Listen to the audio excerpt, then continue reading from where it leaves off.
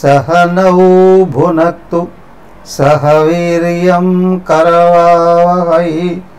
तेजस्विनावधीतमस्तु मा विद्विषावहै।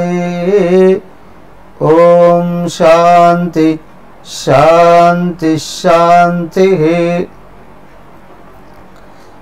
ॐ गुरुर्ब्रह्मा गुरुर्विष्णुः गुरुर्देवो महेश्वरः।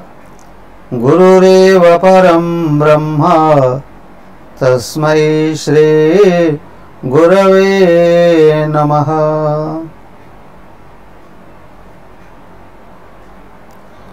ॐ नमः कोदण्डहस्ताय सन्धिकृतशराय च खण्डिताखिलदैत्याय रामायापन्निवारिणे रामाय रामभद्राय रामचन्द्राय वेदसे। रघुनाथाय नाथाय सीतायाः पदये नमः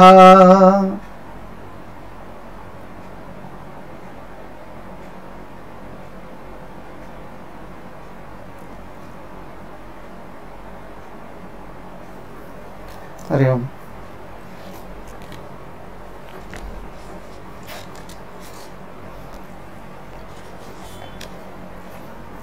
దేహరామాయణం ఎక్కడున్నాం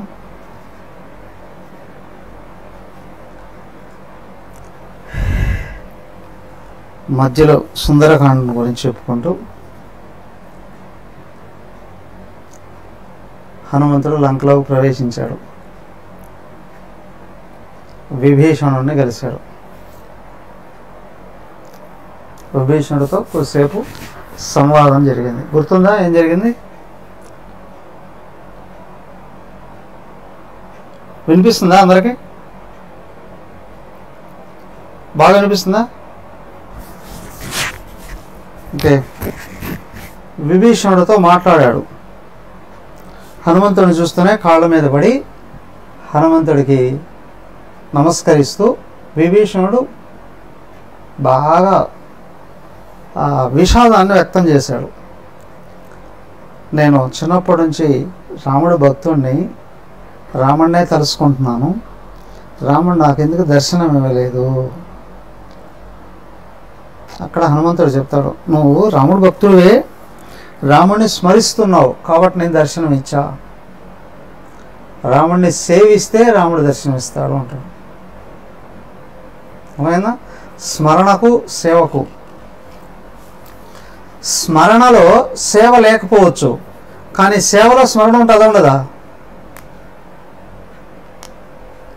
సేవలో స్మరణ ఉంటుంది. దాన్నే ఉన్నారు సేవే భగవదర్పణ భావంతో చేసేటువంటి భగవన్నామ స్మరణతో భక్తితో చేసే సేవ ఏదైతే ఉందో దాన్ని నిష్కామ కర్మ అన్నారు. నిష్కామ కర్మలో కూడా భగవంతుడి యొక్క దర్శనం అవుతుంది. కానీ నిష్కామ కర్మలో ముక్తి రాదు. దర్శనం కావు సాకార సగుణ దర్శనం కావడానికి అవకాశం ఉంది. కదా కాబట్టి ఏంటంటే ఇప్పుడు చెప్తాడు ఎవరైతే స్మరిస్తున్నారో హనుమత్ దర్శనం అవుతుంది.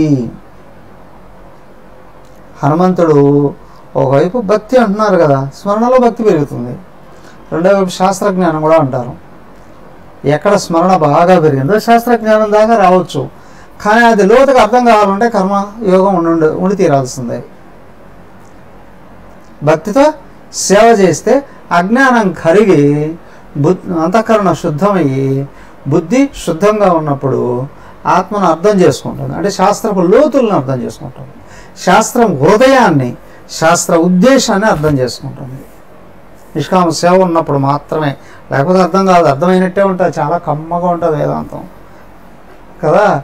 వేదాంతం వింటూ ఉంటే ఏంటంటే ఎంత హాయిగా ఉంటుంది ఏనంటే మందులు లేకుండానే నిద్ర పడుతుంది. నిద్ర మాత్రలు లేకుండా నిద్ర పడుతుంది. అంత హాయిగా ఉంటుంది. కానీ ఇక్కడ ఏంటి అంటే వేదాంతం లోతులు నీకు అర్థం కావాలంటే నీ అంతఃకరణ శుద్ధం అయి ఉండాలి. శుద్ధం కావాలరా అంటే నువ్వు నిష్కామంగా సేవ చేసి ఉండాలి. దానికి ఏంటి అంటే ఆ జ్ఞానాన్ని వింటూ ఉంటే సర- రసగుణము పెరగాలి తమగుణం పోవాలి ప్లస్ సత్వగుణం పెరగాలి. అప్పుడు వేదాంతం లోతులు అర్థం కావడానికి అవకాశం అనేటువంటిది ఉంటుంది. సో కాబట్టి ఏంటంటే భక్తితో స్మరణ చేసినప్పుడు భక్తి పెరుగుతుంది. రెండు అంటే భక్తి దర్శనం అది. దాని శాస్త్ర దర్శనం కూడా జరుగుతుంది. అది చెప్తాడు విభీషణుడికి. ఇప్పుడు అంటే నేను రాముడికి సేవ చేయాలి అని అంటే ఎలా వీలవుతుంది? అప్పుడు ఆయన చెప్తాడు రామపత్ని ఉంది కదా ఇక్కడ నువ్వు ఎందుకు హెల్ప్ చేయకూడదు? సేవ కదా అది. నిష్కామ కర్మ అనేటువంటిది ఆయన ఒక్కొక్క చోట ఒక్కొక్క రకంగా ఉండి ఉండొచ్చు.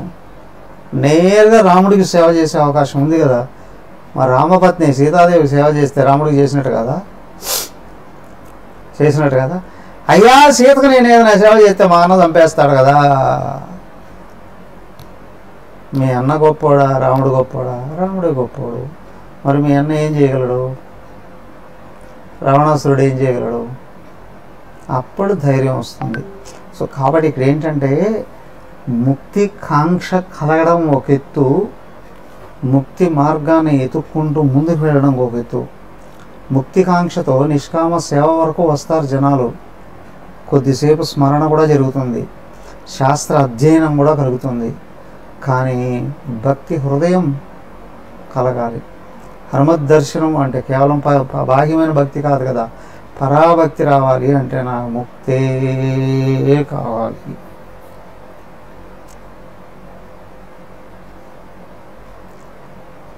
ముక్తే కావాలి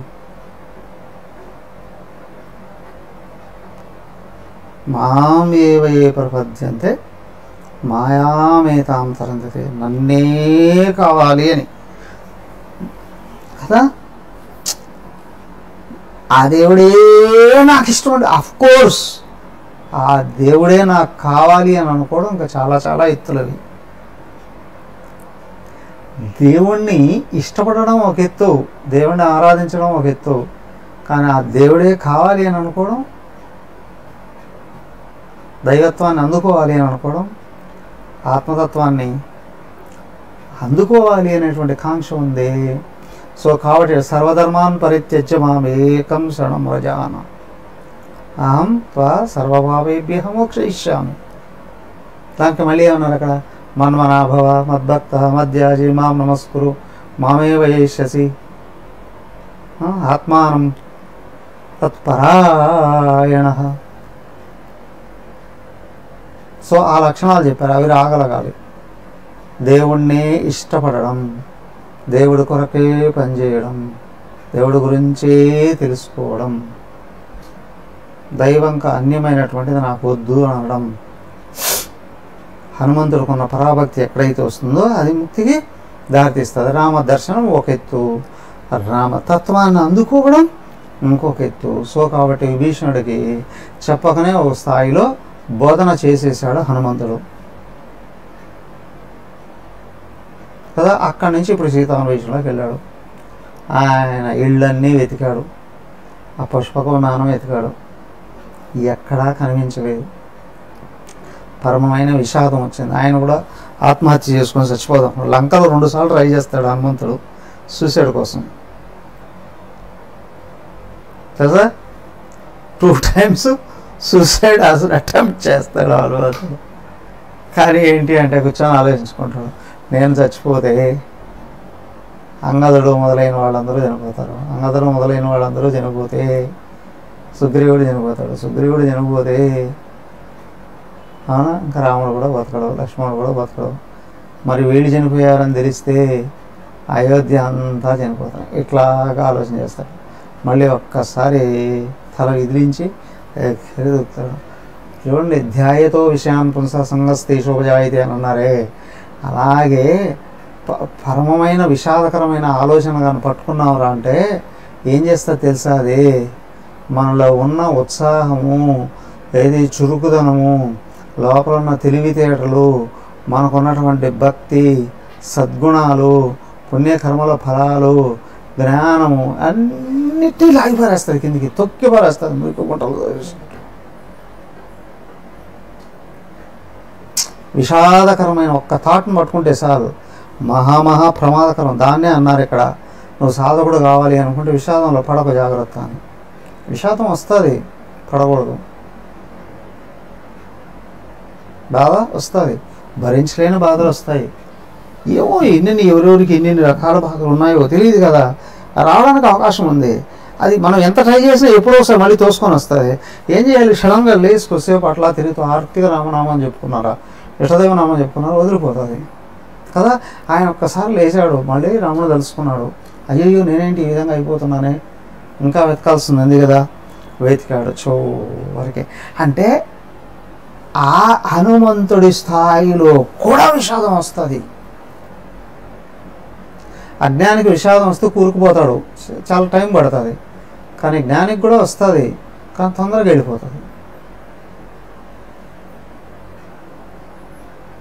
అక్కడ చెప్పారు మూడో అధ్యాయంలో చెప్పారు. జ్ఞానికి ఇలాంటి విషాదం మండుతూ ఉన్న అగ్నికి ఆ పొగ చూరుకున్నట్లుగా వస్తుంది. ఒక గాలిడు తోలితే పొగ వెళ్ళిపోతుంది.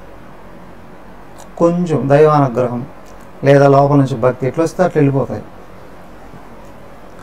అదే రజోగుణి అయినటువంటి వాడికి ఉన్నాడే వాడికి కూడా వస్తుంది. వాడికి కూడా వస్తుంది. అయితే ఏంటి అంటే ఆ అద్దం మీద దుమ్ములాగా ఉంటుంది. పేపర్ పెట్టి తుడిస్తే వెళ్ళిపోతుంది. కొద్దిపాటి ప్రయత్నం చేస్తే వెళ్ళిపోతుంది. తామసికుడికి అజ్ఞాని పూర్తిగా అజ్ఞానంలో కూరుకుపోయినాడు వాడికి వచ్చిందిరా అంటే ఇంకేం కాదు. ఇది గర్భస్థ శిశువుకి కప్పేసిన మావిలాగా నాలుగైదు నెలలు శిశువు ఇది గర్భస్థ పిండం అని మాయ కప్పేసినట్లుగా ఉంటుంది. అది ఎవరు తీసివేయలేరండి. కాలానుగుణంగా పోవాల్సిందే. సో కాబట్టి ఇక్కడ ఏంటి అంటే బాగా జాగ్రత్త పడగలగాలి. విషాదంలో పడకుండా ఉండడానికి. సో భక్తే ప్రధానం అక్కడ. భక్తి సేవ భక్తి సేవ. బయటపడవేసేస్తాయి విషాదం నుండి బయటపడవేస్తాయి. అవును? ఆయన బయటపడ్డాడు. బయటపడి వెతుకుతూ వెతుకు వెళ్ళేటప్పటికి అశోకవనంలోకి వెళ్ళేటప్పటికి అమ్మవారు కనిపించారు. ఎక్కడ? అశోకవనం. ఏ వనం అది? బాగా గుర్తించండి. ఆ పేర్లు కూడా ఎలా పెట్టారో చూడండి.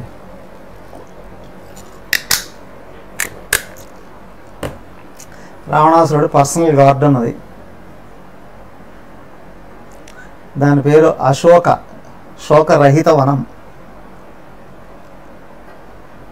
ఫామ్ హౌస్లు అంటారు కదా ఇప్పుడు. ఫామ్ హౌస్లో అని ఉంటారు ఎందుకు హాయిగా అక్కడికి వెళ్ళి విహరించవచ్చానండి అని. అలాగే రావణాసురుడు కూడా ఫామ్ హౌస్ అది. Guest house. అశోకవనం. సీత ఎక్కడుంది? అశోకవనంలో దొరుకుతుంది. నువ్వు శోకాన్ని దాటినప్పుడు సీత దర్శనం అవుతుందండి వెలుగున్న చోట చీకటి ఉండదు. శోకం ఉన్న చోట శాంతి ఉండదు. శోకాన్ని తరిస్తే శాంతి బయటకు వస్తుంది అక్కడ అమ్మవారు కనిపించారు అమ్మవారితో సంభాషణ అయింది. అయిన తర్వాత ఏమైంది?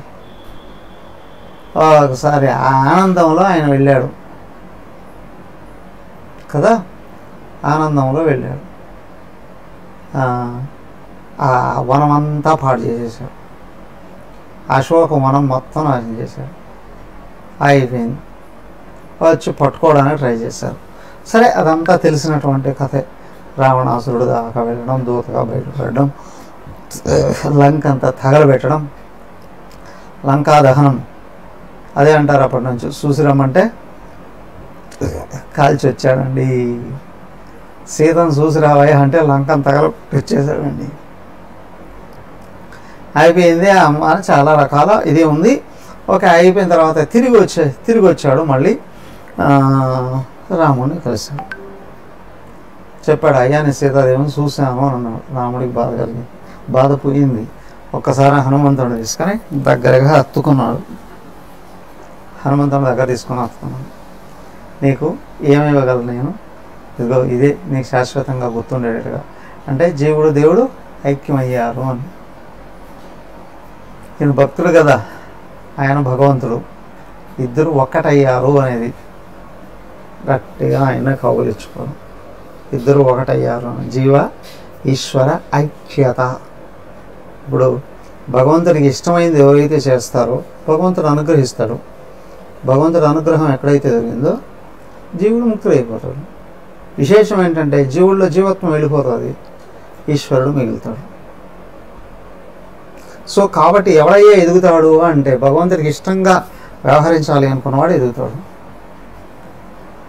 భగవంతుడికి ఏది ఇష్టం? ఎవరి స్వభావాన్ని బట్టి వాళ్ళు. కదా అక్కడ.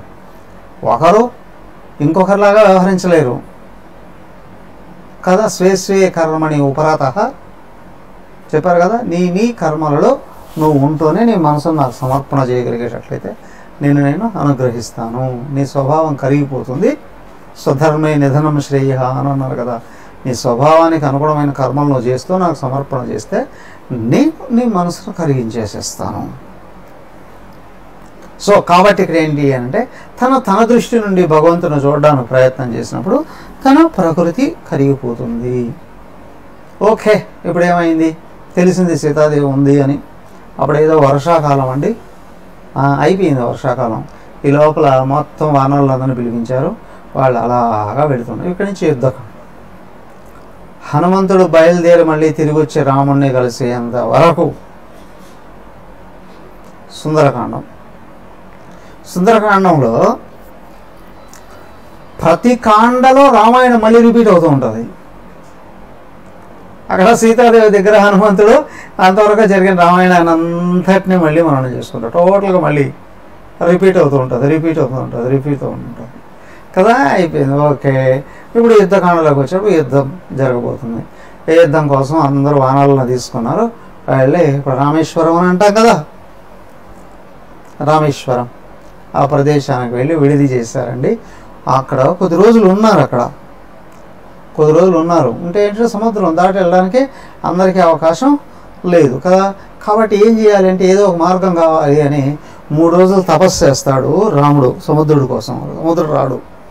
రాముడికి ఒళ్ళు మండుతుంది. లేచి బాణం ఎత్తాడు. బాణం పైకి తీస్తాడు. మర్యాదగా నీకు తపస్సు చేసి ఏడుకుంటే నువ్వు అనుగ్రహించవా? ఆ బాణం ఎప్పుడైతే ఎత్తే ఎదుగో సముద్రాన్ని ఎండింపజేస్తున్నాను అని అంటాడో పరిగెత్తుకుంటూ వచ్చేస్తాడు సముద్రుడు. వచ్చి కాళ్ళ మీద పడతాడు. కాళ్ళ మీద పడి వెంటనే పరిష్కారం చూపిస్తాడు.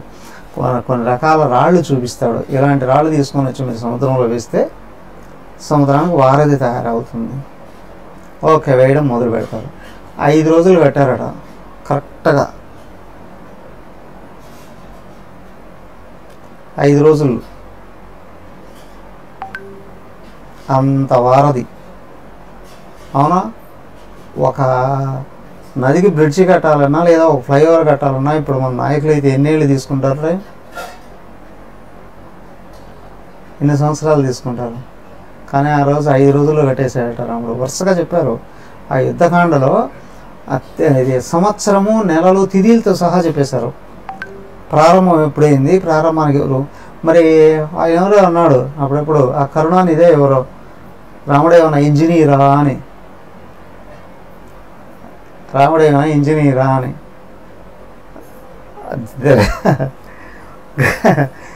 బెడ్షీలు కట్టేటప్పుడు ముఖ్యమంత్రి వెళ్ళి కూర్చొని కట్టిస్తాడా? రా ప్రధానమంత్రి వెళ్ళి కూర్చొని కట్టిస్తాడా? వాళ్ళకేంటి అవసరం? ఇంజనీర్కి అప్పచెబితే కట్టేస్తాడు. కదా? అలాగే ఏంటి అంటే నలుడు నీలుడు అనేటువంటి వాళ్ళు ఉన్నారే వాళ్ళు విశ్వకర్మ కొడుకులు. విశ్వానంతటిని నిర్మాణం చేసినటువంటి వాళ్ళు. కదా టాటాను ఎల్ఎన్టీను వచ్చాయండి ఇది కట్టడానికి ఇప్పుడు హైవేద్య టెంపుల్ కట్టడానికి ఎవరికో ఇచ్చారు కదా. అలాగే నలుడు నీలుడు అనబడేటువంటి వాళ్ళ కన్స్ట్రక్షన్స్ ఇచ్చేసారు వాళ్ళిద్దరు ఇంజనీర్లు. కదా వాళ్ళతో చేసుకున్నారు కావాలి వానర్లందరినీ తీసుకొని వచ్చి ఆ విధమైనటువంటి రాళ్ళని తీసుకొని వచ్చి ఫైవ్ డేస్లో వారదంతా కట్టేశారు. కట్టేశారు. దానికైనా ఉత్సాహైన తతస్సంగ స విభీషణ మైత్రికి అజ్ఞాన తరుణోపాయ సేతుబంధు వహాదదు ఫస్ట్ ఆ రామేశ్వరంలోకి వెళ్ళి విడిది చేస్తున్న సమయంలో ఫస్ట్ విభీషణుడు వచ్చాడు. విభీషణుడు రాకముందు అక్కడ చాలా తతంగం జరుగుతుంది. ఊరికే వచ్చేయలేదు. రాముడి గురించి తెలిసి విభీషణుడు మొట్టమొదటి చాలా వ్యతిరేకంగా మాట్లాడతాడు రావణాసురుడితో. రావణాసురుడు ఒక్కడు కాదు. రావణాసురుడి తల్లి తండ్రి తాత మేనమామ అవునా? వాళ్ళ కుల పురోహితులు ప్లస్ విభీషణుడు కూడా వ్యతిరేకిస్తాడు. వాళ్ళ ఆవిడ కూడా వ్యతిరేకిస్తుంది. నువ్వు తప్పు చేసావు మన వంశ నాశనానికి సీతను తీసుకుని వచ్చి ఇక్కడ పెట్టుకుంటే వద్దు వెళ్ళి తిరిగి ఇచ్చేసి వచ్చాయి అని చెప్పి కొంచెం కర్రకుగానే మాట్లాడతాడు విభీషణుడు. వాడికి నచ్చదు అది. అవునా కరకు మాట్లాడే ఇష్టం ప్రతి ఒక్కరు ఏమనుకుంటారు? నాకు ఇష్టమైనట్టు మాట్లాడాలి. కదా? నాకు ఇష్టం వచ్చినట్టు నడుచుకోవాలి.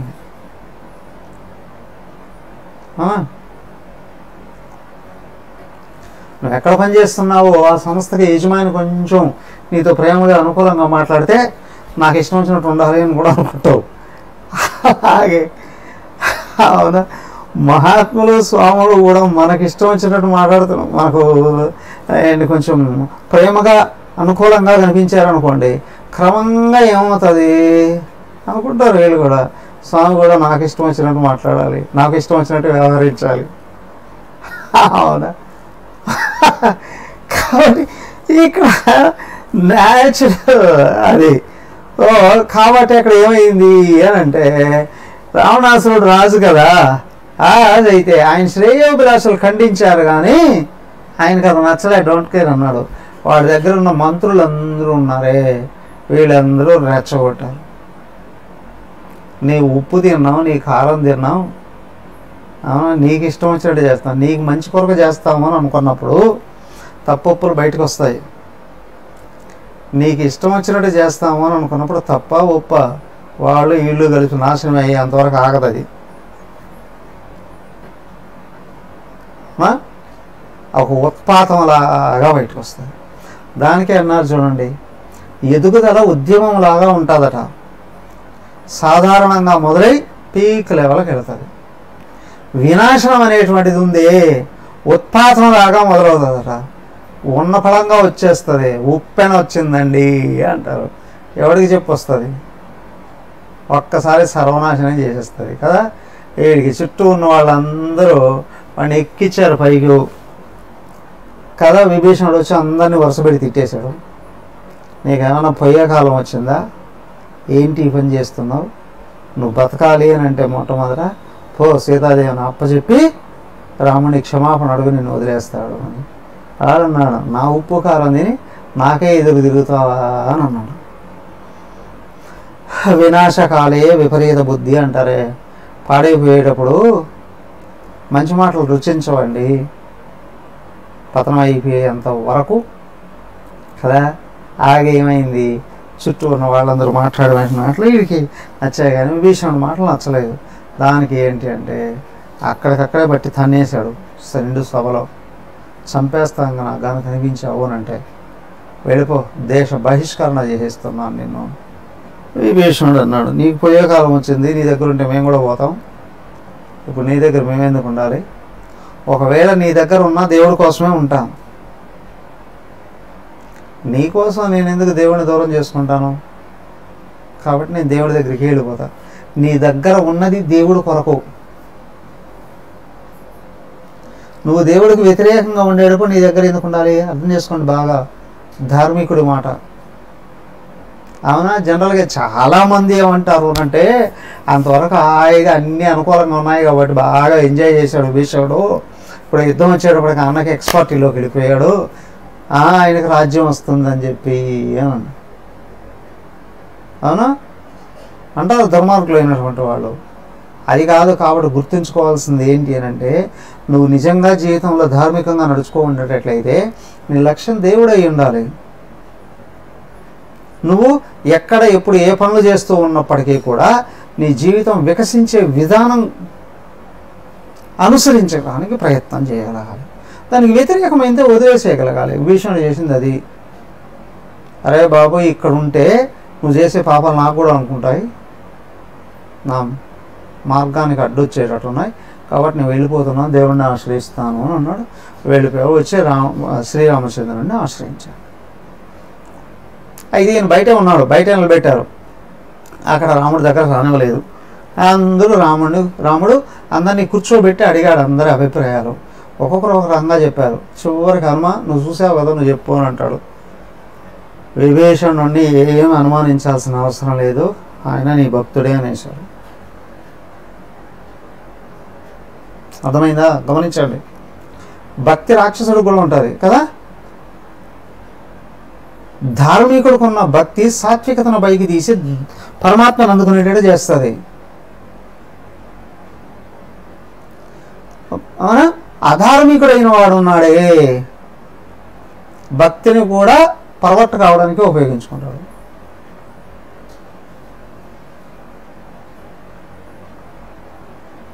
అర్థమైందా? వాడు భక్తిని కూడా వాడు దారి తప్పడానికి ఉపయోగించుకుంటాడు. దారి తప్పడానికి ఉపయోగించుకుంటాడు. సో కాబట్టి ఇక్కడ ఏంటి అని అంటే విభీషణుడు ధార్మికుడు. పైగా రాముడికి భక్తుడు. అందుకే రాముడి దగ్గరకు వచ్చాడు. మరి ఎలాంటి పరిస్థితుల్లో అయినా సరే రాముడికి వ్యతిరేకంగా విభీషణుడు నడుచుకోడు. కాబట్టి రామును సందేహించాల్సిన అవసరం లేదని హనుమంతుడు చెప్పేసి అయితే ఇక్కడ ఏమవుతుందో తెలుసా? సమష్టి వ్యవహారాలలో ఒక వ్యక్తికి కానీ విలువిస్తే మిగతా వాళ్ళందరూ అలిగడానికి అవకాశాలు ఉన్నాయి అవునా? కమిటీ మీటింగ్ జరుగుతుందని అనుకోండి. ఒకరికే ఎక్కువగా విలువిస్తే వాడు ఒక్కడ మాట విన్నామంటారు మిగతా వాళ్ళందరూ. ఆ, మిగతా వాళ్ళందరూ అధార్మికంగా ఉన్నప్పటికి కూడా ఏం చేస్తారు తెలుసా? వాడు ఒక్కడ మాట విన్నావా? నువ్వు ఒక్కడ మాట వింటావా? నువ్వు ఒక్కడే ఉంచుకో. మేమంతా వ్యతిరేకంగా వ్యవహరించడానికి కూడా అవకాశాలు కూడా ఉంటాయి. దానికి రాముడు ఏమంటాడు రా అంటే విభీషణుడు నన్ను ఆశ్రయించడానికి వచ్చాడు. చెప్తాడు అక్కడ. ఎవరైనా సరే నువ్వే దిక్క నన్ను ఆశ్రయించాడు అని అంటే త్రిలోకాలలో వాడి మీద ఈగు వాలకుండా చూసుకుంటా. ఇది నా ధర్మం. స్వభావం. ఇంకొకటి గుర్తుంచుకోండి. విభీషణుడు ఏంటి రావణాసురుడు ఏంటి వాళ్ళిద్దరూ ఒకటయ్యి విభీషణుడు వచ్చి మన దగ్గర యుద్ధ రహస్యాలన్నీ తెలుసుకొని వెళ్ళి వాళ్ళ అన్నకు హెల్ప్ చేసి మనల్ని దెబ్బ కొడతాడని భయపడుతున్నారేమో. భయపడాల్సిన అవసరం లేదు. ఎందుకంటే విభీషణుడు రావణాసురుడు వాడి సైన్యం కాదు కదా. పద్నాలుగు లోకాలు కలసి కట్టుగా నా మీదకి వచ్చిన చిట్టకిన వేల గోరుతో భస్మం చేసేయగలం జాగ్రత్త. మీరు ఎవడో భయపడాల్సిన అవసరం లేదు అని అంటాడు అందరికి ఒకసారి ధైర్యం వచ్చి ఈయన ఎవరు? అని ఆలోచించబోతారు. వెంటనే అంటాడు అయినా దైవం ఎట్లా? అనుకుంటే అట్లాగే జరుగుతుంది. మీరేం ఆలోచించుకుని ముందుకు వెళ్ళండి అంటాడు. మళ్ళీ తోసేస్తాడు వాళ్ళ ఆలోచనలో పడకుండా ఎందుకు? అని అంటే అక్కడ రావణాసురుని చెప్పాలి అని అంటే దేవుడు అయ్యి ఉండకూడదు అనే నియమం ఉంది కదా. మానవుడి చేతనే మానవుడు వనరుడు. నరుడు వనరుల చేత మాత్రమే వాడు చావడానికి అవకాశం ఉంది. దానికి వెంటనే ఈయన డైవర్ట్ చేసేస్తాడు దృష్టిని. డైవర్ట్ చేసేస్తాడు. ఏంటి అంటే హే పద దైవం ఎట్లా నిర్ణయించుంటే అలాగా జరుగుతుంది అని. ఆ తర్వాత ఆయన తపస్సు కూర్చోవడం వారధి కట్టడం లంకలోకి ప్రవేశించడం జరుగుతుంది. ఇది చూడండి ఇక్కడ ఈ శ్లోకంలో ఉత్సాహేన తదస్సంగ సా విభీషణ మైత్రికి సాక్షాత్తు రావణాసురుడికి తమ్ముడే. రావణాసురుడు గురించి చదవని తెలుసు. చివరికి రావణాసురుడి ప్రాణం రహస్యం ఎక్కడుంది అని చెప్పేవాడు కూడా ఎవరు? విభీషణుడే. రాముడికి పక్కనుండే కుంభకర్ణుడి రహస్యాలు రావణాసుడు రహస్యాలు ఆ మేఘనాథ రహస్యాలు మొత్తం అన్నీ సహాయం చేసేది. ఒక విభీషణుడు కానీ రాకపోతే వీళ్ళ ప్రక్కకి ఆ ముగ్గురిని చంపడం ఎంత కష్టమయ్యేదో. అవునా? ముగ్గురిని చంపడం చాలా కష్టమయ్యేది. విభీషణుడు కానీ రాకపోతే. సో కాబట్టి ఇక్కడ ఏంటి అనంటే గుర్తించండి విభీషణుడు సహాయం ఎప్పుడైతే వచ్చిందో ఇది సులభతరమైంది ఒకటి. రెండవది వాడిని చంపడానికి అన్ని సీక్రెట్స్ తెలిసిపోయాయి.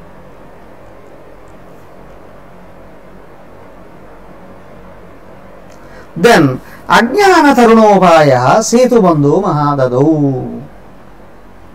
తర్వాత ముఖ్యమైనటువంటిది ఏంటి అంటే ఇప్పుడు విభీషణుడు ఎప్పుడైతే స్నేహం జరిగి జరిగిందో ఇప్పుడు అజ్ఞానాన్ని ధరించడానికి ఆయన వారధి వారధి వేసాడు అని అంటే ఎక్కడైతే సముద్రంలో మాత్రం వారధి అని కాదు.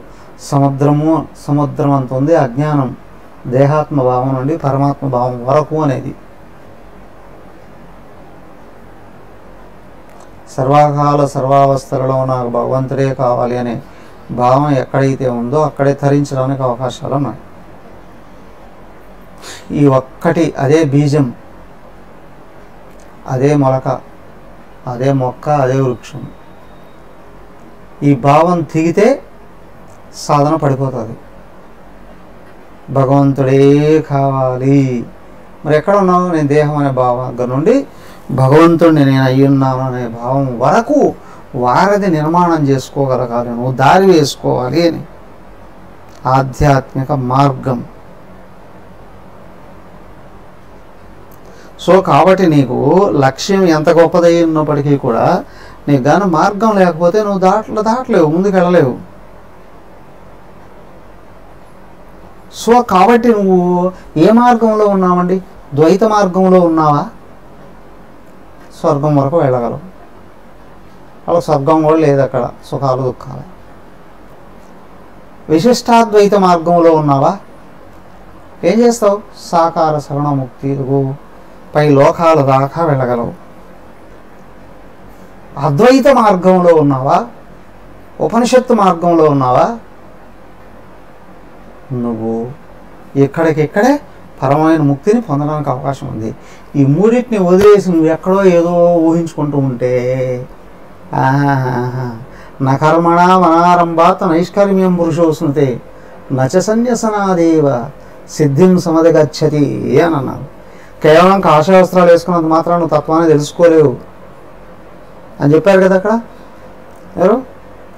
బహుకృత వేష ఉదర నిమిత్తం బహుకృత వేష అని అన్నారు పొట్టను నింపుకోవడానికే వేషాలు అనేటువంటివి అవుతాయి. సో కాబట్టి ఇక్కడ ఏంటి అని అంటే నీకు పరమపురుషార్థమైన మోక్షమే లక్ష్యంగా ఉండి నీ మార్గం ఏదో కరెక్ట్గా ఉండి నువ్వు విద్యార్థిగా చేరి నువ్వు శాస్త్రాన్ని పద్ధతిగా పక్కాగా అధ్యయనం చేసి ఆ శాస్త్రజ్ఞానాన్ని దాని చేతిలో పెట్టుకొని నీ లక్ష్యాన్ని మర్చిపోకుండా నీ మార్గంలో అడుగులు వేస్తూ నువ్వు ముందుకెళ్తే ఖచ్చితంగా నువ్వు అందుకోగలవు.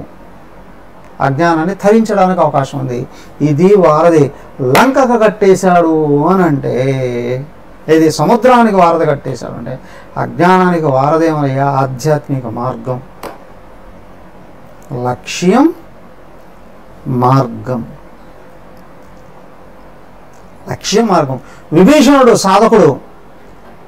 అవునా? సజ్జన సాంగత్యం ఉండాలి. కదా గ్రహస్థకు చెప్పేటప్పుడు కూడా నాలుగు విషయాలు చెప్పారు చూడండి అక్కడ. గేయం గీతానామ సహస్రం ధ్యేయం శ్రీపతి రూపమజస్రం అవునా? నేయం సజ్జన సంగే చిత్తం దేయం దీనజన ఆశవిత్తం అని చెప్పారు. కదా? నేయం సజ్జన సంఘే చిత్తం నేయం. నువ్వు సన్మార్గంలో ముందుకెళ్ళాలి అని అనుకుంటే సజ్జన సాంగత్యం ఉండాలి. ఇంకో విషయం ఎలాంటి వాళ్ళ సంఘం ఉందో నువ్వు అలాగా అయిపోతావు జాగ్రత్త. అవునా? నీ స్వభావాన్ని బట్టి సాంగత్యం ఉంటుంది. నీ సాంగత్యాన్ని బట్టే స్వభావం కూడా తయారవుతూ ఉంటుంది. సో కాబట్టి ఏంటి అంటే జీవన్ముక్తుల సహవాసం చేయి. జీవన్ముక్తుని హృదయంలో పెట్టుకో. జీవన్ముక్తిని అర్థం చేసుకో శాస్త్రం ద్వారాగా. దాన్ని పట్టుకొని క్రమంగా నువ్వు ముందుకెళ్ళడానికి ప్రయత్నం చేస్తే. నువ్వు నాలుగు వేసిన సరైన దారిలో వెళితే అంతవరకు ముందుకు వెళుతున్నావు. నెక్స్ట్ మళ్ళీ నెక్స్ట్ బర్త్లో అక్కడి నుంచి స్టార్ట్ చేస్తావు. నువ్వు ఎక్కడికి వెళ్తున్నావు ఎక్కడ వెళ్తున్నావు ఏమీ తెలియకుండా ఉంటాయి. సో కాబట్టి చూడండి ఇక్కడ విభీషణుడు అని సజ్జన సాంగత్యము అని. ఇప్పుడు విభీషణుడికి సజ్జన సాంగత్యమా? విభీషణుడు సజ్జనుడు కాబట్టి సాంగత్యం అని ఏ విధంగా అయినా అనుకోండి. అవునా? ప్రాథమిక భక్తిలో ఉన్నటువంటి వాళ్ళ సజ్జన సాంగత్యం చేయగలగాలి. ఈ పరాభక్తిలోకి వెళ్ళినప్పుడు మహాత్ముల సాంగత్యం అనేది ఉండగలగాలి. ఏదో దైవ సాంగత్యం ఉండాలి. లోపల నిత్యం నిరంతరం పరమాత్మ స్మరణ మానకుండా పరమాత్మ స్వరూప నిష్ఠ మానకుండా ముందుకు వెళ్ళగలగాలి. అక్కడే నీకు ధరించేటువంటి అవకాశం వస్తుందండి. చూడండి పదే పదే ఒకసారి అయిపోయినట్టు అనిపిస్తుంది మళ్ళీ వెనక్కిస్తున్నాడు ముందు పెడుతుంది మళ్ళీ వెనక్కిస్తున్నాడు అనిపిస్తుంది. దానికి ఏమిటి అంటే భయ భవాప్యయౌహి భూతానాం. అక్కడ చెప్పారు. ఆ, కఠోపనిషత్తులో సాధన ఒకసారి ముందుకెళ్ళినట్టు ఉంటుంది ఒకసారి వెనక్కిస్తున్నట్టు ఉంటుంది ఒకసారి ముందుకెళ్ళినట్టు ఉంటుంది. ఓసారి వెనక్కిస్తున్నట్టు డోంట్ వరీ అని అంటారు. అయ్యా దేహాత్మభావం వచ్చిందా? కింది పడిపోయినట్టు అనిపిస్తుంది? ఆత్మభావం వచ్చిందా? పైకి ఎక్కుతూ ఉన్నట్టు అనిపిస్తుంది. వరిగా లక్ష్యంగా ఉందంటే ముందుకెళ్తావు.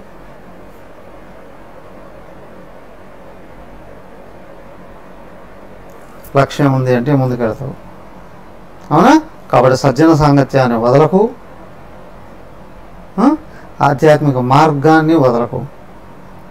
ఈ రెండు పట్టుకో ముందు తర్వాత చూడండి. త్రిగుణాశ్రయ గేహే వై లింగదేహాహ్వయే శుభే త్రికూటాచల సంస్థాయాం లంకాయాం రఘునందన.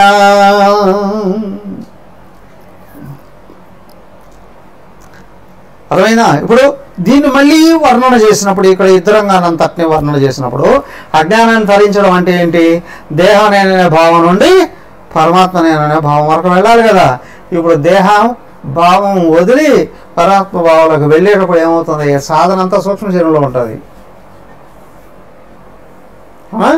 శుద్ధం కావాల్సింది ఏంటి? సూక్ష్మ శరీరం. కరిగిపోవాల్సింది ఏంటి? సూక్ష్మ శరీరం. మార మారాల్సింది ఏంటి? సూక్ష్మ శరీరం. కదా? వాటిలో కూడా ముఖ్యంగా మనోబుద్ధుల్లో మార్పులు జరగాలి. అవునా? సో కాబట్టి ఇక్కడ సముద్రం దాటుతున్నానండి అంటే ఎక్కడ ప్రవేశించాలయ్యా త్రిగుణాశ్రయ గేహే. ఐ లింగదేహ హయే శుభే. త్రిగుణాశ్రయ దేహే. స్థూల శరీరంలో అన్ని గుణాలు వ్యక్తం కావు. స్థూల శరీరం తామసిక గుణం. పంచ తన్మాత్రలలో తమో గుణం పంచీకరణం చెంది స్థూలమైన దేహం తయారైందండి అని అంటారు. స్థూల దేహం ఏం సాధన చేస్తుంది? వాస్తవానికి స్వదేహం ఏమి ఏమీ చేయదు. ఇల్లు లాంటిదే. వినియోగించుకునేవాడు ఇంట్లో ఉన్న యజమాని. కదా? ఇల్లు లాంటిదే ఇది. కాబట్టి ఇదేమీ చేయలేదు. దానికి ఏంటి అంటే సాధన లోపల జరుగుతుంది. త్రిగుణాశ్రయ గేహే పై లింగదేహ పయే ఇంకా యుద్ధంలోకి ప్రవేశిస్తూ ఉన్నాడండి. కాకపోతే ఈ సముద్రాన్ని దాటి అక్కడికి వెళ్ళిపోయాడు. వెళ్ళిపోతే ఏంటి? లింగదేహం. సూక్ష్మ శరీరంలోకి ప్రవేశించాడండి. దృష్టి స్థూల శరీరం నుండి బయటే తిరుగుతుంది అంటే బహిర్ముఖుడు. వీడికి ఆధ్యాత్మిక అభివృద్ధి లేదు సాధన లేదు. ఎప్పుడైతే దృష్టి ప్రపంచ విషయాల నుండి వెనక్కి తీసుకొచ్చి తనలో తను తర్కించుకుంటున్నాడో విచారణ చేసుకుంటూ ఉన్నాడో మరణం చేసుకుంటున్నాడో మార్పు చేసుకుంటున్నాడో అంటే దృష్టి అంతర్ముఖమైందండి. సాధకుడికి కూడా ఆలోచనలు ఉంటాయి. శాస్త్రాన్ని గురించో తనలో ఉన్న గుణగణాలను గురించో లేదా ఇష్టదైవం యొక్క గుణగణాల గురించో ఆ ఆత్మ స్వరూపాన్ని గురించో లోపల ఆలోచనలు ఉంటాయి. ప్రజెంట్లో ఉంటాడు. ఎప్పుడు పరిగెత్తి వెళ్ళిపోదు మనసు. పరధ్యానంలో ఉండడు. పరాధ్యానం కొరకు అంతర్గతంగా మననంలో ఉంటాడు. పరధ్యానం ఇతర విషయాల గురించి ఆలోచన చేయడం. తమస్య పడిపోతుంది. రజస్సు కూడా వెళ్ళిపోతుంది. భవిష్యత్తును గురించి కూడా లెక్కలు కట్టుకుంటూ ఉంటాడు. కానీ అవి రెండు పొయ్యి తనలో తాను తర్కించుకోవడం మొదలుపెట్టినప్పుడు నేను ఏ గుణంలో ఉన్నాను? దానికనే త్రిగుణ ఆశ్రయ. గేహే. మూడు గుణాలు ఇక్కడ వ్యక్తమవుతాయి. సూక్ష్మ శరీరంలోనే వ్యక్తమవుతాయి. కదా తమ గుణం వ్యక్తమైంది అంటే ఏమన్నా? ఏమన్నా? అప్రకాశం అప్రవృత్తి ప్రమాదో మోహేవచ అని అన్నారు. ఏమీ తెలియట్లేదండి. అప్రకాశం. ఏమీ చేయాలనిపించట్లేదండి. అప్రవృత్తి. ప్రమాద. తను తను మర్చిపోయాడండి మోహయ్యవచ విషయలోలుడు అయిపోయినాడండి కొంతమంది కళ్ళు మూసుకొని ఉన్నట్టు ఉంటారు లోపల నిరంతరం విషయభోగాలనిపిస్తూ ఉంటారు. అవును కదా మనసు విషయాల్లో అనిపిస్తుంది అంటే తమస్సులో ఉన్నావు అని. అది అపరిపక్వమైనటువంటి మనసు. వ్యక్తి నిత్యం నిరంతరం ప్రపంచంలోకి వెళ్ళి విషయాలను అనుభవించడం కంటే నువ్వు కళ్ళు మూసుకొని లోపల విషయ ధ్యానం చేయడం అనేది ఏదైతే ఉందో ఇది పరమ భయంకరమైనటువంటిదండి పూర్తి తామసికమైనటువంటిదండి అన్నారు. నువ్వు దీన్ని దాటకపోతే ఆత్మ స్మరణ రాదండి అన్నారు. విషయ ధ్యానాన్ని దాటకపోతే ఆత్మ ధ్యానం రాదు. బాగా గమనించండి సాత్వికుడు ఆత్మను తక్కించుకుంటున్నాడు లోపల. తామసికుడు కూడా లోపలే ఉన్నాడు. విషయ ధ్యానంలో ఉన్నాడు. ఒకడేమో ఆత్మ ధ్యానంలో ఉంటే ఇంకొకడేమో విషయ ధ్యానంలో ఉన్నాడు. ఇద్దరు కూడా అంతర్ముఖంగానే ఉన్నారు. బాగా గమనించండి. సో కాబట్టి ఏంటి అంటే విషయ ధ్యానం లోపల జరుగుతున్నంత వరకు విషయ భోగ ఆసక్తి కలిగి ఉన్నంత వరకు ఆత్మస్మరణ రాదు అయితే ఆత్మస్మరణ పెంచుతున్నావా? విషయ భోగాల అడ్డు అని చెప్పి నీకు తెలుస్తుంది వాటిని తగ్గించుకునే కృషి చేస్తావు. అదే యోగం. విషయ ధ్యానం నుండి ఆత్మధ్యానానికి మళ్ళించుకోగలగడమే విషయ ధ్యానంలో ఆలోచనలు పెరిగిపోతాయి ఆత్మధ్యానంలో ఆలోచనలు కరిగిపోతాయి. విషయస్మరణ ఆత్మస్మరణ. సో కాబట్టి ఆత్మస్మరణలో అన్నప్పుడు సాకార సగుణ దైవాన్ని స్మరించవచ్చు మరి శాస్త్రాన్ని స్మరించవచ్చు నిరాకార నిర్గుణ స్మరణ చేయొచ్చు. మూడింటికి కూడా అవకాశం ఉంది. నీ స్థాయిని బట్టి జరుగుతాయి. సో ఇదంతా లోపల మనోబుద్ధుల్లోనే జరుగుతుంది.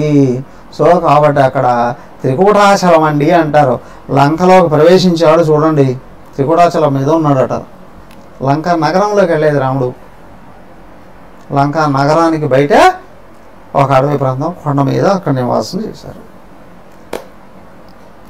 త్రికూటాచల సంస్థాయాం లంకాయాం రంగునందున. ఏ లంకా నగరంలో త్రికూటాచలం. మూడు కూటములు శరీర మనోబుద్ధులు అనుకోవచ్చు మూడు శరీరాలు అనుకోవచ్చు మూడు గుణాలు అనుకోవచ్చు ఈ మూడింటికి ఆధారం ఆత్మ. మూడింటి మీద నిలబడ్డాడు అండి అని భాగ్యమనించండి అయితే ఇక్కడ భయపడకూడదు. తమస్సు కదిలినప్పుడు తామసిక ఆలోచనలు వస్తాయి. రజస్ కదిలినప్పుడు రాజసిక ఆలోచనలు వస్తాయి. సత్వం కదిలినప్పుడు సాత్విక ఆలోచనలు వస్తాయి. అవునా? అయితే ఏంటి అంటే నాకు అన్ని మంచి ఆలోచనలు వస్తాయి అని అనుకున్న అహంకారమే. నాకు అన్ని విషయ ఆలోచనలు వస్తున్నాయండి అని అనుకున్న అహంకారమే. దానికి ఏంటి అని అంటే ఆలోచనలు వస్తూ ఉంటాయి వాడి స్వభావాన్ని బట్టి. దానికి నేను అన్యంగా ఉన్నానని గుర్తించినప్పుడు నువ్వు వాటిని ఆపగలవు. అవునా? మనల్ని మనం కంట్రోల్ చేసుకోవడం కష్టమా? ఇతరులను కంట్రోల్ చేయడం కష్టమా?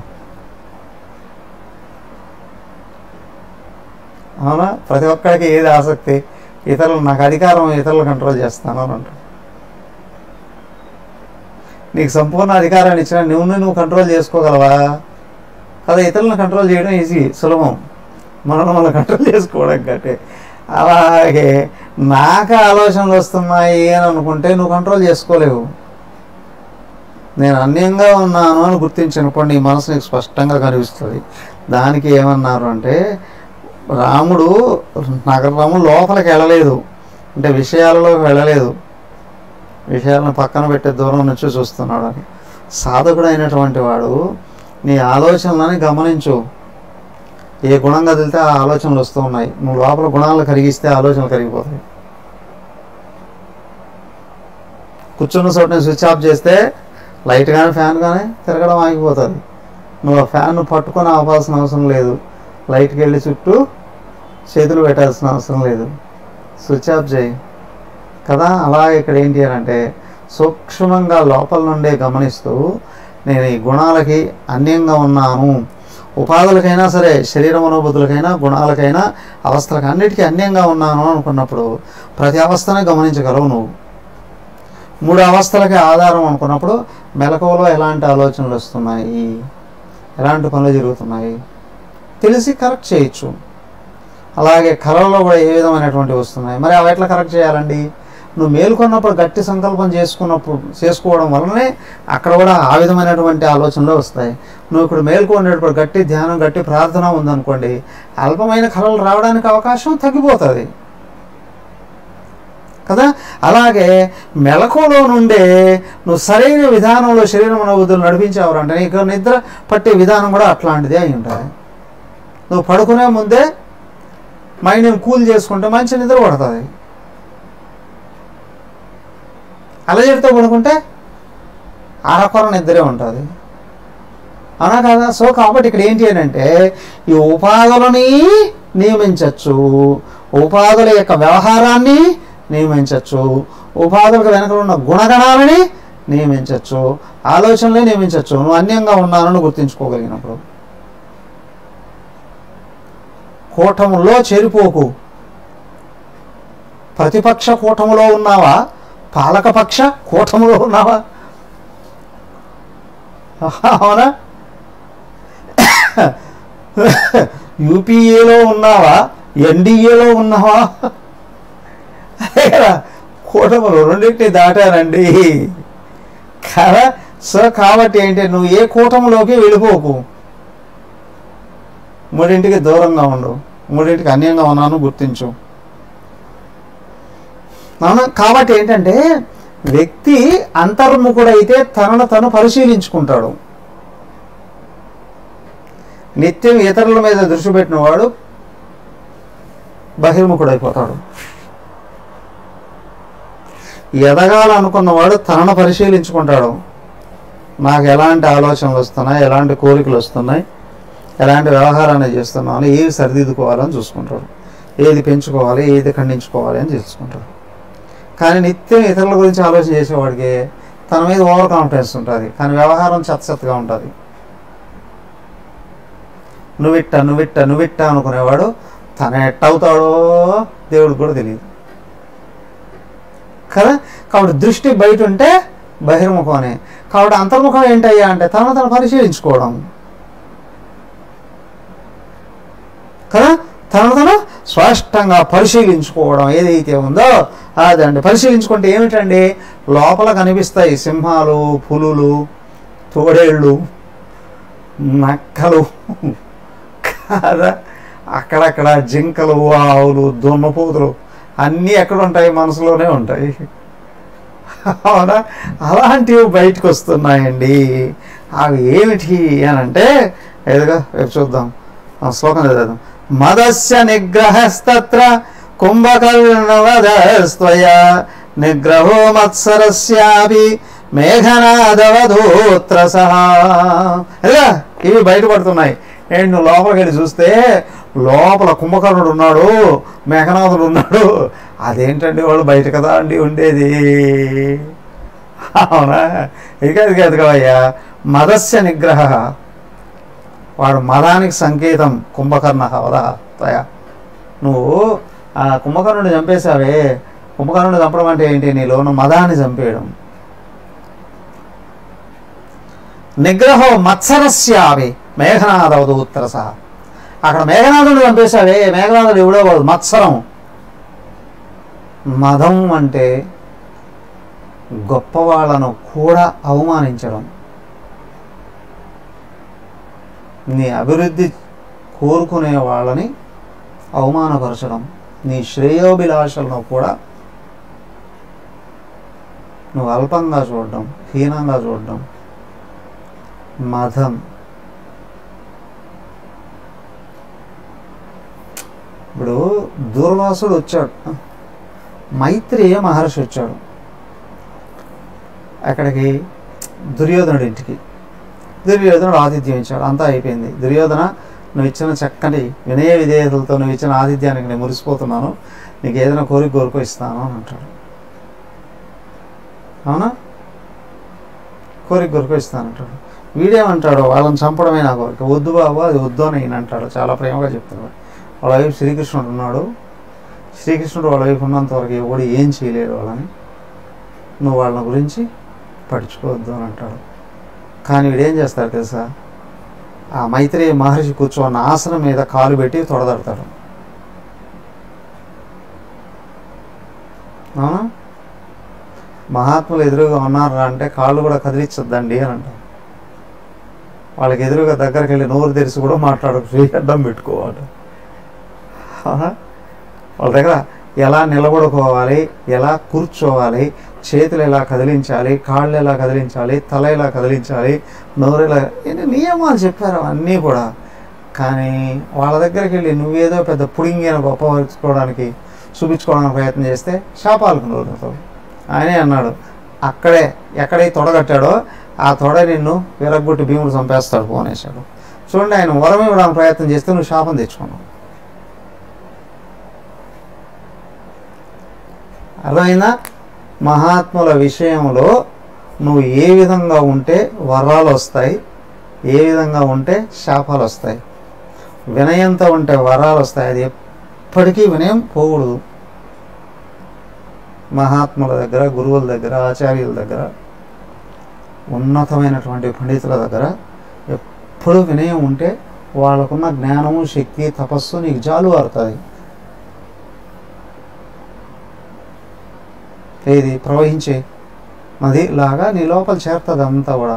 వాళ్ళ దగ్గరికి వెళ్ళి ఇట్లాంటి భావాలుగా నేనే గొప్ప అని భావాలు కానీ చూపించావు. శాపాలే వస్తాయి. ఎట్లా అంటే బయటకు అనకపోయినా లోపల బాధ కలిగిందిరా అంటే వచ్చి తగులుకుంటుంది నీ హృదయం కాలిపోతుంది. కదా? అదే కుంభకర్ణుడు అండి రెండు ఏంటి? మత్సరం అండి అని ఇతరుల అభివృద్ధిని చూసి భరించలేకపోవడం వాడు మేఘనాథుడు అండి దానికి నువ్వు ఆత్మ అయితే ఉన్నదంతా ఉన్నదంతా ఆత్మే కదా. ఎప్పుడు ఎక్కడ ఎవడు ఎంత చేసినప్పటికీ కూడా చేరుకునేది ఆత్మే కదా. నువ్వు ఆత్మలో కూర్చున్నావు అని అంటే చేరుకోవాల్సింది ఇది ఒకటే రా బాబు. ఈ ఒక్కటే అర్థం కావడానికి చాలా కాలం పడుతుంది. మీరు ఆన్లైన్లో క్లాసులు వినొచ్చు లేదా వన్ ఇయర్ కోర్స్ చేయొచ్చు టూ ఇయర్స్ కోర్స్ చేయొచ్చు పచ్చబట్టలు వేసుకోవచ్చు ఎర్ర బట్టలు వేసుకోవచ్చు తెల్లబట్టలు ఏవైనా వేసుకోండి. విచిత్రాది విచిత్రం ఏంటి అంటే ఆచార్యుడి అనుగ్రహంతోనే నీ దేహం కాదు అని భావం పడుతుంది. కొనసాగుతుంది. ఎందుకంటే ఇంత పెద్ద బ్రహ్మాండంలో నేను కూడా పులింగి అని ప్రతి ఒక్కడు ఏమనుకుంటాడు? ప్రపంచ చరిత్రలో నాకు ఒక పుట కావాలండి అని నీ మొహంలో కావాలి. ఈ పుస్తకం తయారు చేసిన వాడు ఆయన ఆయనే నువ్వు అయ్యి ఉన్నావు అది శాస్త్రం చెప్తుంది. అది ఇవ్వడానికి ప్రయత్నం చేయి. అర్థమైందా? ఆ విషయం అర్థం చేసుకోవడం. ఏంటంటే బ్రహ్మాండాన్ని రచించినటువంటి వాడు ఎవడైతే ఉన్నాడు బ్రహ్మాండ నాయకుడు వాడే నువ్వై ఉన్నావు. అయ్యున్నారనే నమ్మకం కలగాలి అని అంటేనే ఎంత తపస్సు చేసి ఉండాలి? ఆచార్యుడి అనుగ్రహం ఉంటే ఈ నమ్మకం కలుగుతుంది. వేసే ప్రతి అడుగు దాని వైపు వెళ్తుంది.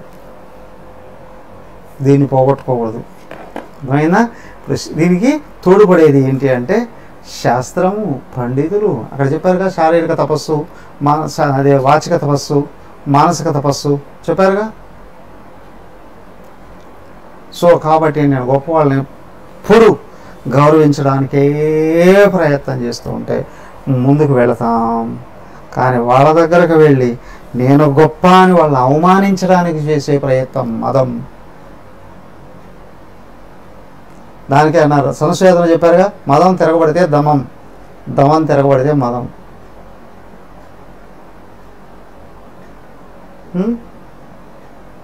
ఆ దమం స్థితిలో విభీషణుడు ఉన్నాడు మదం స్థితిలో వాడు ఉన్నాడు కుంభకర్ణుడు ఉన్నాడు. ఏడు మత్సరం. కదా? ఓకే రేపు ఇంకొంచెం వివరించుకోవడానికి ట్రై చేద్దాం. హరి ఓం. ఓం సర్వే భవంతు సుఖిన. सर्वे सन्तु निरामयाः सर्वे भद्राणि पश्यन्तु मा कश्चिद्दुःखभाग् भवेत्। ॐ शान्ति शान्ति शान्तिः। हरिः ओं श्रीगुरुभ्यो नमः। हरिः ओम्।